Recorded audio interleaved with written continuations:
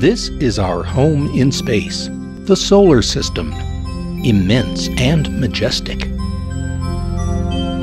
The planets move in a stately procession, orbiting the sun. But it wasn't always this way.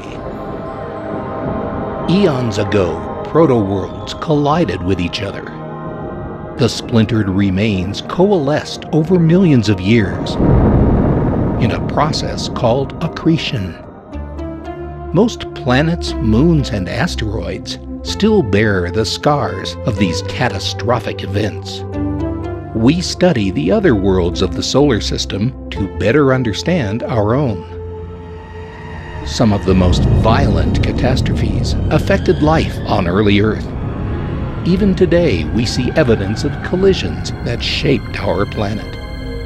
Planetary science is revealing the secrets of our solar system's chaotic and violent formation.